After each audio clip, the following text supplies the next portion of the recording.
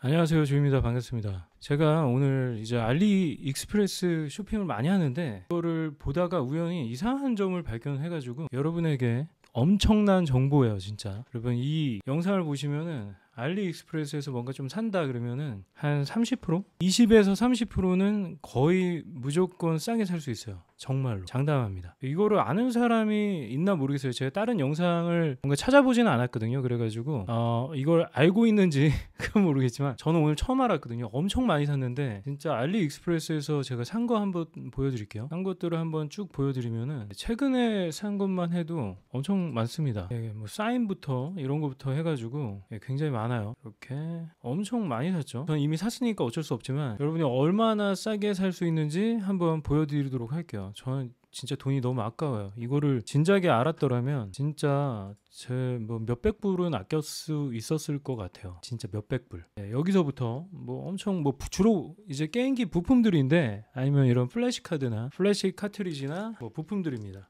다른 제품들도 다 포함이 돼요. 제가 이걸 알게 된 거는 플래시카드 가격을 보다가 깜짝 놀랐어요. 자, 일단은 요거를 한쪽에다 이렇게 해놓고 얘를 여기다가 해놓고 지금 요것들을 얼마나 여러분들이 싸게 살 수 있는지 한번 보여드릴게요. 다른 제품도 다 포함됩니다. 적용이 돼요. 그래서 일단 요거를 다 제가 닫아 볼게요. 자, 이게 제가 이 아이디로 되게 많이 샀잖아요. 근데 어떤 현상이 있냐. 여러분이 이제 로그아웃을 한 상태로 보잖아요. 가격이 굉장히 싸집니다. 제가 조사해 본 결과는 그렇습니다. 뭐 장기간 구매하지 않은 아이디면은 똑같이 여기서 이제 로그인 하지 않은 상태로 보이는 가격과 동일합니다. 하, 일단 요거부터 하나 보여드릴게요. 요거 제가 13.42불에 샀잖아요. 근데 이쪽에 보면은 8.4불이에요. 8, 아니 8.4불도 안 돼. 8불. 여러분 이게 엄청 차이 나는 거죠. 예, 저는 요것도 싸다고 생각하고 잘 사서 좋았는데 이거를 보는 순간 경악하지 않을 수가 없었어요. 이것만 그러냐? 아닙니다. 자, 요거는 26불, 21불. 이것도 5불 정도는 더 저렴하게 살 수가 있어요. 그리고 요거는 신기하게도 가격이 올랐더라고요.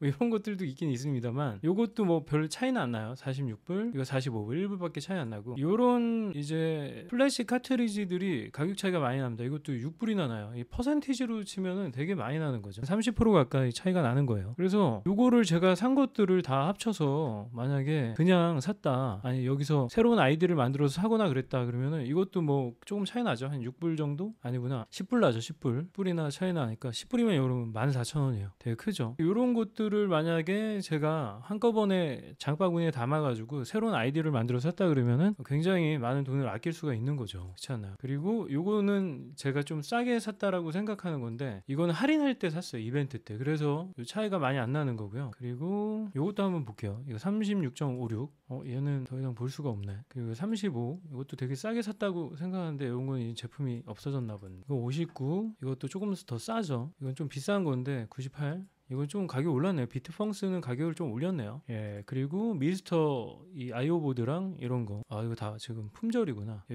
차이 안 나는 것도 있긴 있는데 이것도 아마 품절일 겁니다. 이거는 지금 품절 재고가 있나? 아, 지금 재고가 없습니다. 이런 게임기 같은 경우는 엠버닉 같은 경우 이거는 제가 할인 할 때 샀거든요. 그래서 좀 싸게 산 거고요. 이런 부품류들은 가격 차이가 제법 납니다. 여기 보세요. 이거 41불, 이거 47불. 이것도 6불 가까이 나죠. 6불이나 나죠. 이런 것도 한번 볼까요? 이것도 24불. 어, 이거는 똑같네. 이것도 아마 비쌀 것 같긴 하고. 그래서 여러분, 제가 여러분들한테 말씀드리고 싶은 게 뭐냐면은 알리익스프레스에서 뭐 사실 때 있잖아요. 사실 때는 일단 로그인 하지 말고 보세요. 여러분이 산 내역이 아마 있으면 이게 정확하진 않아요. 어떤 아이디는 이제 그 가격이 굉장히 싸게 살 수가 있고 또 어떤 아이디는 아, 그대, 그대로 로그인하면 비싸지더라고요. 가격이 변해요. 그렇기 때문에 여러분이 하셔야 될 거는 일단 로그아웃 한 상태에서 검색을 하세요. 그리고 나서 로그인을 해 보세요. 그러면 만약에 가격이 비싸진다 그러면은 그 아이디로 사지 마시고 계정을 하나 만들어서 예, 거기서 새롭게 주문을 하시기를 추천드립니다. 특히 여러 개 산다 그러면은 이렇게 6불씩 한 제가 몇 가지 샀냐면요. 예, 꽤 한 뭐 40가지 정도 샀잖아요. 그러면 6, 4, 24, 240불이에요. 240불이면 뭐 30만 원 이상입니다. 그러니까 저처럼 그냥 바로바로 바로 사지 마시고 이렇게 로그 아웃을 한 상태로 가격을 보고 장바구니에 담아서 계정을 새로 만들어서 사시거나 이렇게 하시면 될 겁니다. 아시겠죠? 이거 혹시 아셨던 분 계신가요? 얘네가 아마 전략적으로 가격을 바꾸는 것 같아요. 한번 사면은 또 산다라는 전제하에 할인을 적용하지 않고 사게끔 이렇게 뭔가 고객들한테 고지를 안 하고 이런 pricing을 하는 것 같습니다. 이걸 dynamic pricing 전략이라고 하는데 뭔가 이렇게 다이나믹하게 가격 변동을 적용해서 마진율을 조금 더 높이는 그렇게 하는 것 같아요. 아니면은 뭐 가- 그거를 제 생각에는 seller들이 정할 수 있는 것 같아요. 그 옵션을 제가 이 알리익스프레스는 판매를 안 해봐가지고 모르는데 아마 제 생각 에는 그럴 것 같습니다. 오늘은 사실 이 Shure 마이크는 원래 쓰고 있었고 이 boom stand를 어, 사가지고 한번 실험 삼아서